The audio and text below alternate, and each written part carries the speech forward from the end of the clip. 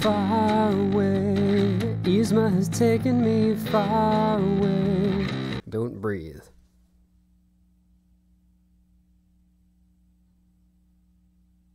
Very dramatic music here. Oh, there's a big blue guy. There's an area over here. Oh, I'm moving very slowly. Oh, I see. It's the man. this will be interesting. Wow. Alright, who's this guy? Couldn't agree more, Carl.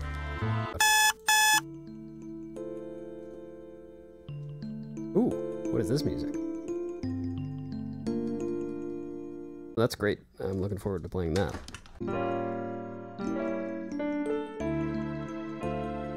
Accordion can be somber when you want it to be.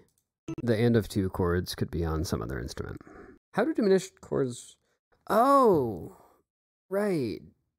That's a different diminished chord. Hold on. Right, because, okay, diminished chords on accordion left hand are not one minor three diminished five. They are one minor three diminished seventh. And that's not what I want. This is a half dim. So what I actually want is the B flat diminished chord on the accordion. Okay. Yeah. All right. That's better. I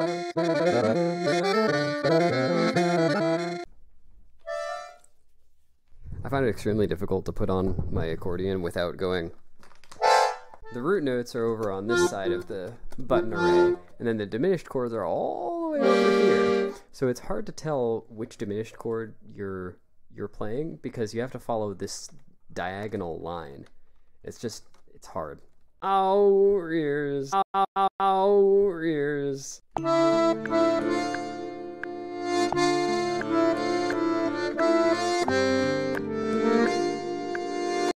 attack of the instrument there reminds you of hitting the heels of two shoes together.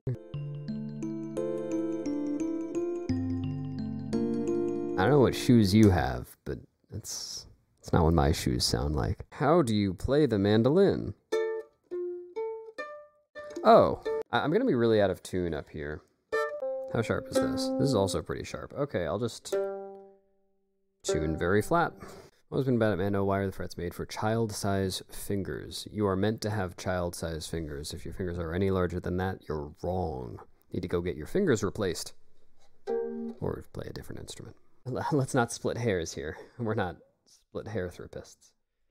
You got bass, pad, and recorder. Recorder and bass should be both very easy. Uh, I'm planning to do upright. I think that'll sound best.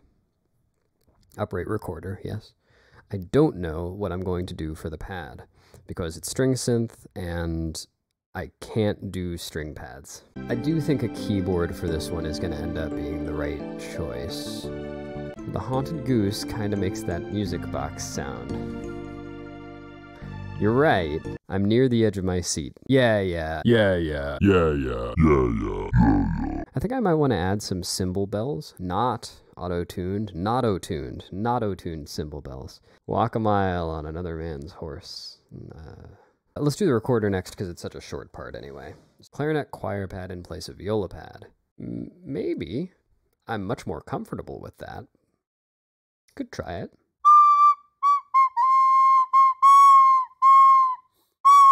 All right, um, so I'm really out of tune.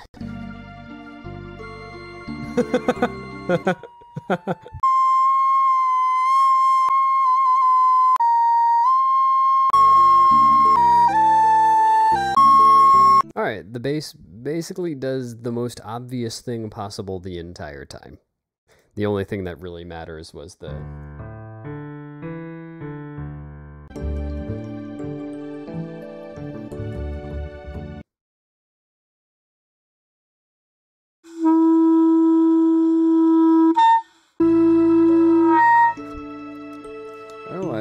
Are um, bad right now. I'll try wetting my reed a little more. Oh, well, that's very bad. I just broke my reed. All right, it's getting interesting here. Oh boy, I haven't played on this one in a while. What this really need needs is a pitched down boat horn. All right, you asked for it.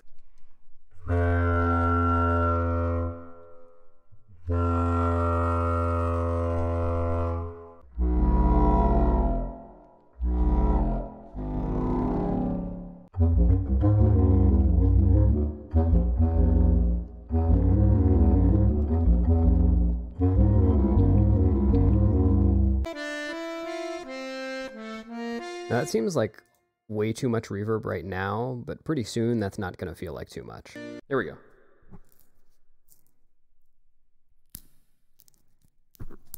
I wouldn't say that was creaky in the slightest. Uh, pitch shift this an octave up. Ah, sorry. Ah, that's pretty good. We're gonna do our listen now.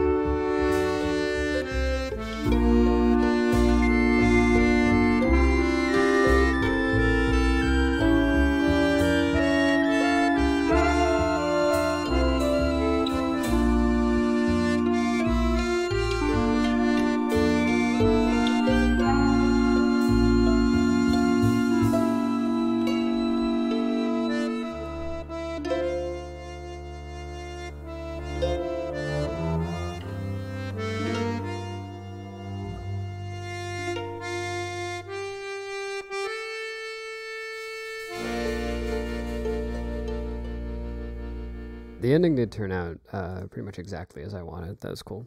There were a lot of good parts in there. There were uh, some bad parts. I agree. I like clarinet ensemble. Accordion was generally good. I think drums were tasteful. Uh, clarinet was good. Upright was good. Mando was cool. Yeah, generally I, I like this one. I guess it just it felt weird for some reason. I think my favorite part of recording this one was the accordion, and that was at the very beginning.